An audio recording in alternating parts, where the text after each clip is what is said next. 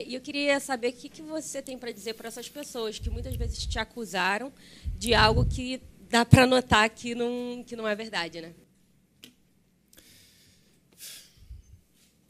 O que eu diria para as pessoas é que, primeiro, o dia a dia que fala, né? São as pessoas, eu acho que a verdade realmente é daqueles que nos conhecem tudo. A verdade vem daqueles que nos conhecem do dia a dia. Eu só espero que essas pessoas maldosas, que elas não tratem elas assim, sabe?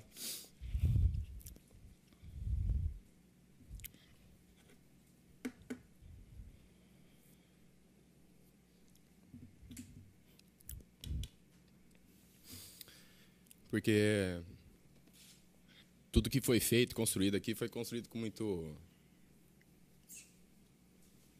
muita dignidade.